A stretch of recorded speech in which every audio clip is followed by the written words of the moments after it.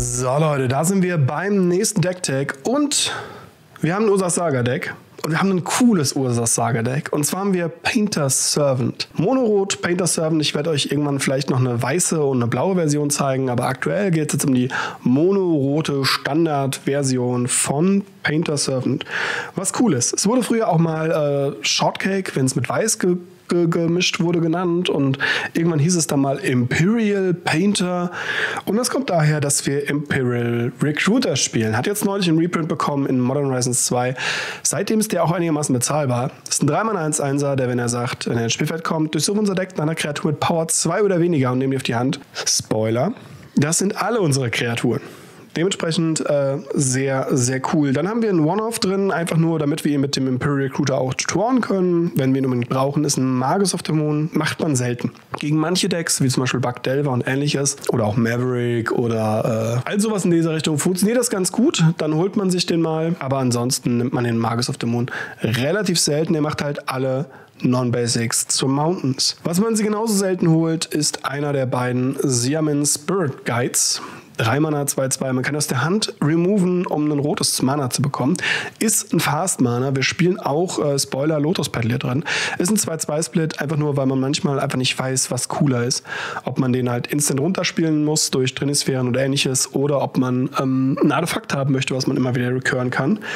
Denn wir spielen, da wir ja rot spielen, spielen wir auch meine, eine meiner Lieblingskreaturen mittlerweile geworden. Der Goblin Welder ein rotes Mana 1-1 tappen. Wir suchen uns ein Artefakt, was ein Spieler kontrolliert, aus und ein Artefakt in diesem Spieler in diesem Friedhof und dann tauschen wir die beiden. Also das vom Feld wird geopfert und das ist ein Friedhof wird ins Spiel gebracht. Ist ganz cool, damit können wir auch ein paar Tricks machen und damit kriegen wir auch zum Beispiel Nullrod los. Wenn der Gegner noch so irgendwie ein anderes Artefakt im Friedhof hat, äh, kann man damit auch Nullrod wegtauschen. Das ist wichtig. Dann haben wir, weil äh, vier Goblin Welder nicht reichen, haben wir nochmal vier Goblin Weld äh, Goblin Engineers. Zwei Mana 1, 2, wenn er ins Spielfeld kommt, ist unser Deck ein Artefakt und legen es in den Friedhof. Danach können wir für ein rotes ein Artefakt opfern und können dann ein Artefakt Mana kosten drei oder weniger aus dem Friedhof zurück ins Spiel bringen. Ist im Endeffekt das ähnliche wie der Goblin Welder.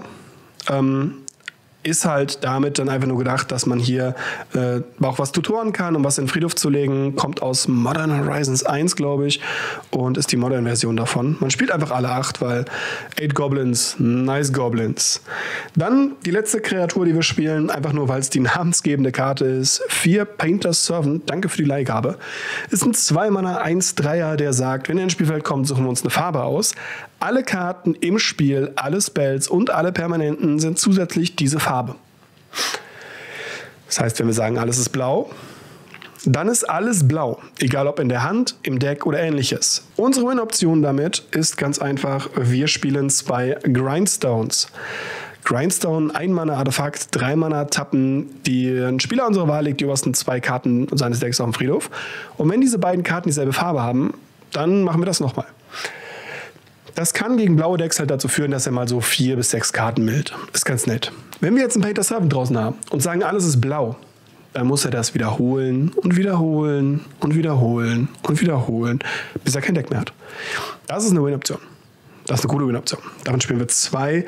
Dann haben wir noch eine, eine Menge One-Offs, die wir zum Beispiel im Goblin Engineer suchen können.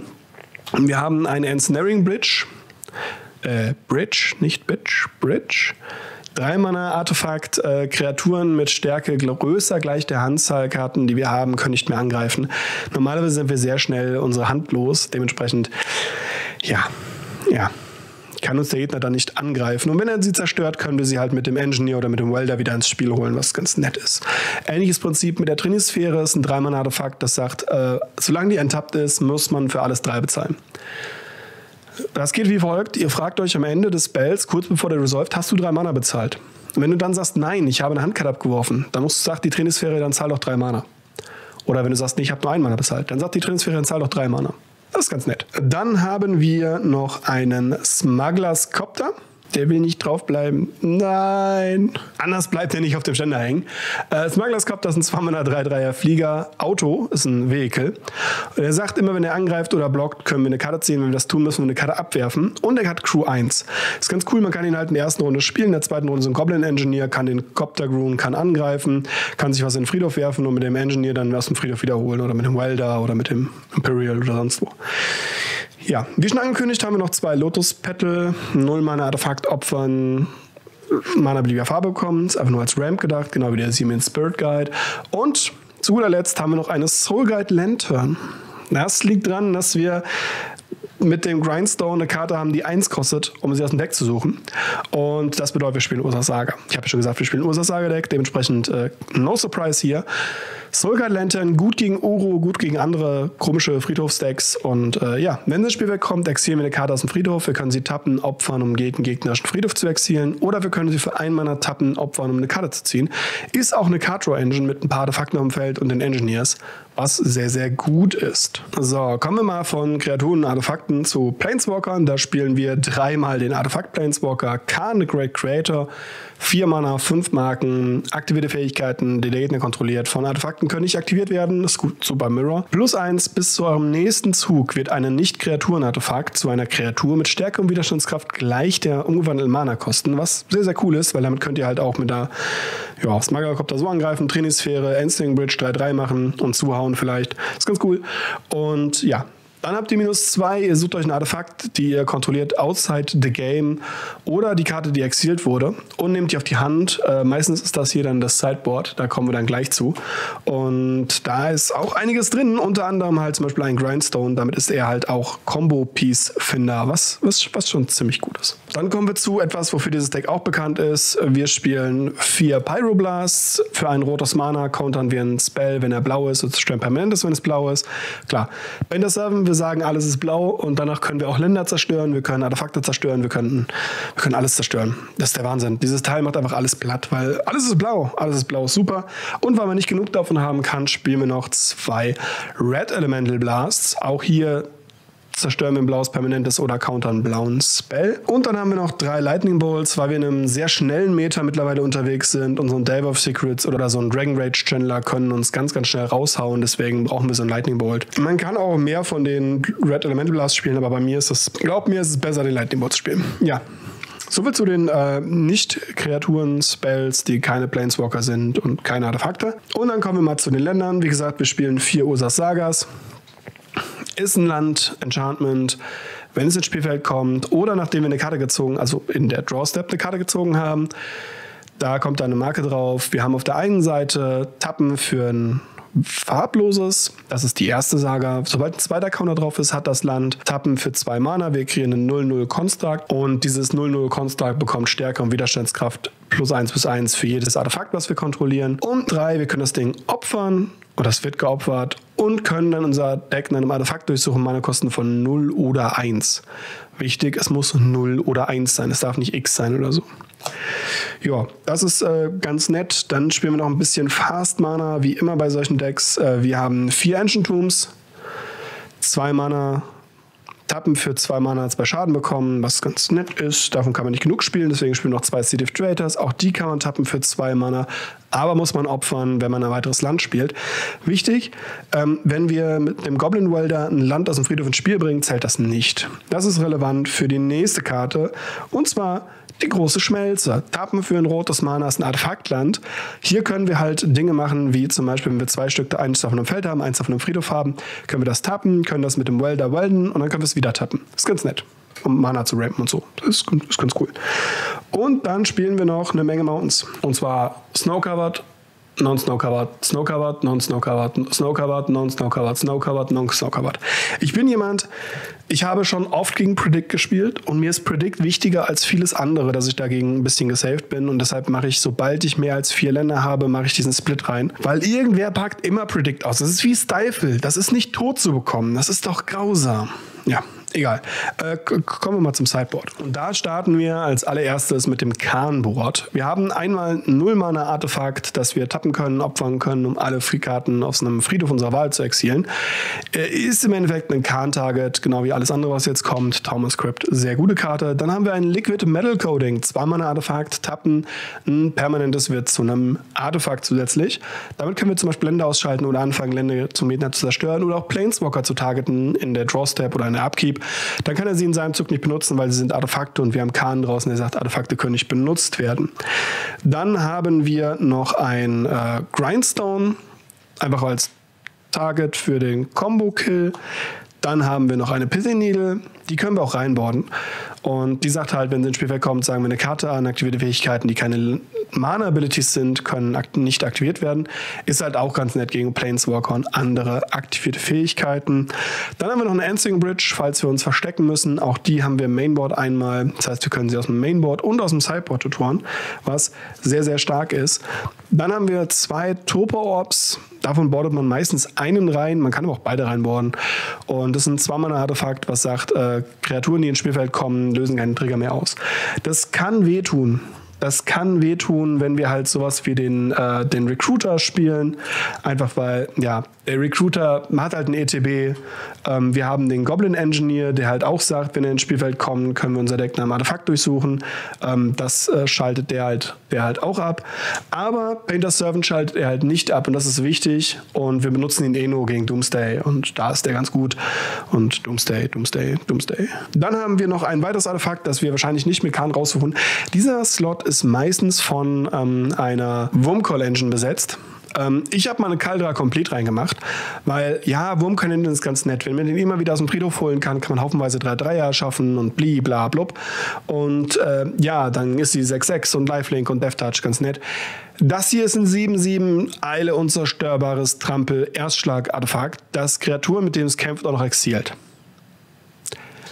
muss ich mehr sagen. Und wenn der Gegner den Token kaputt macht, dann tauscht ihr mit dem Welder einfach irgendein ne, ne beknacktes Land dagegen aus, ja, und weldert das zurück.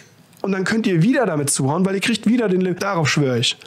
Hat mir auch schon einen Sieg gebracht. Ist ein sehr, sehr cooles Ding. Dann gucken wir uns mal die Nicht-Artefakte an. Dafür haben wir zwei Surgical Extraction, ein schwarzes Mana, was wir nie bezahlen werden können, wirklich.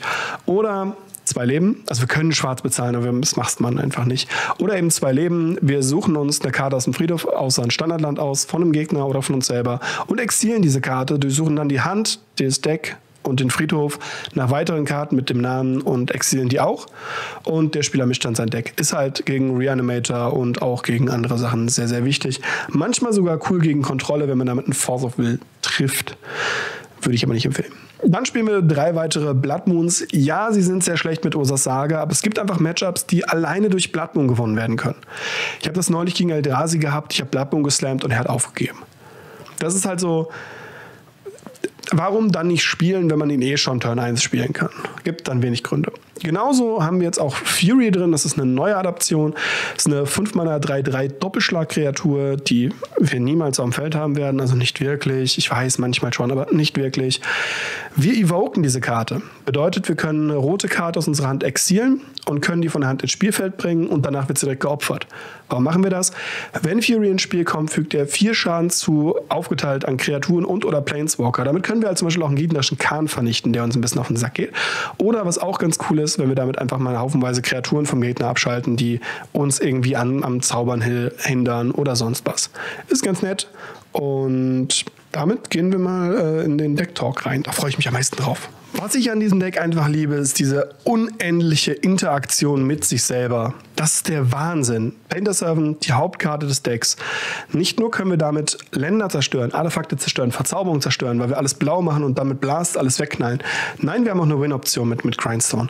Diese Interaktion ist alleine schon damals für mich so eine absoluter Brainfuck. So, what? Das geht? Ja, das geht und es ist gut. Der Imperial Recruiter, der halt wirklich alles in unserem Deck sucht, der sogar ein One-of-Moon suchen kann und so weiter und so fort, nur leider die Furies nicht, ähm, ist, ist so gut und, und es macht so viel Spaß, diese Karte mitzuspielen und, und sein Grinsen. Halt, manchmal gewinnt man auch einfach, indem man so Recruiter, Recruiter, Recruiter, irgendwas. Magus of the Moon, Beatdown. Äh, hier ist noch ein Smugglercopter und ich hau dich noch mit dem Smugglercopter, weil der Recruit ja auch einen Smugglerscopter und so weiter und so fort. Hammer. Goblin Welder und Goblin Engineer, dass diese Karte rausgekommen ist, hat das Deck richtig belebt. Weil jetzt hatte man zwei Welder-Effekte. Das war schon der Wahnsinn. Kurz davor war Khan the Great Creator rausgekommen. Das hat das Deck auch hart belebt. Weil man auf einmal aus dem Sideboard Liquid Metal Coding, Grindstone, Caldra Complete, manche Leute spielen dann noch den Khan-Log. Aber der ist super irrelevant, den braucht man einfach nicht. Es ist so cool. Man kann so viele Karten aus dem Sideboard holen. Das alleine ist schon super stark. Das haben wir in manchen Decks schon gehabt. Das alleine ist super stark. So viel Value, wie wir da rausziehen können. Auch mit dem Card Draw, mit den anderen. Das ist wirklich cool. Recruiter, der das ganze Deck ein bisschen sammelt. Das ist eine eigene Engine. Und jetzt kommt, jetzt haben wir auch Ursas Saga, die alleine ein Beatdown-Plan sein kann. Die alles kaputt hauen kann, wo man im Sideboard ganz viele Fun-Offs spielen kann. Auch im Mainboard kann man Fun-Offs spielen. Wirklich, wirklich stark, die halt Konstrukte macht, die man entweder wegweldern kann oder zum Zuschlagen benutzen kann. Und die dann noch eins unserer beiden Combo-Pieces sucht, wodurch wir darunter gehen auf zwei. Weil wir können jetzt entweder aus dem Deck suchen, hiermit viermal, oder wir können sie damit dreimal aus dem Sideboard suchen. Wir kommen an den Grindstone ran. Und das ist so cool. Das ganze Deck macht so viel Spaß. Und wenn ihr die Chance habt, probiert das Deck aus. Es macht wirklich, wirklich Laune. Painter Servant ist nur teuer geworden, danke Commander-Spieler. Ansonsten, ja, die Landbase mal wieder. Ein bisschen die Landbase. Und viele der Karten kosten halt so ein Zehner, ein Zehner, ein Zehner, ein Zehner kostet nichts. Äh, das ist mittlerweile auch unsagbar teuer geworden. Kahn weiß ich gerade gar nicht. Kaldra kostet, glaube ich, 6 Euro. Da nochmal ein Zehner, da nochmal ein. Also, es ist schon, das ist nicht günstig, das Deck, aber es macht unendlich viel Spaß. Und für ein Legacy-Deck ist es immer noch affordable. Also, ich hoffe, ihr hattet Spaß an dem Deck und ich konnte euch ein bisschen vermitteln, wie das Deck funktioniert. Und äh, ja, hoffe, wir sehen uns beim nächsten Video. Bis dahin, Black Ciao, ciao.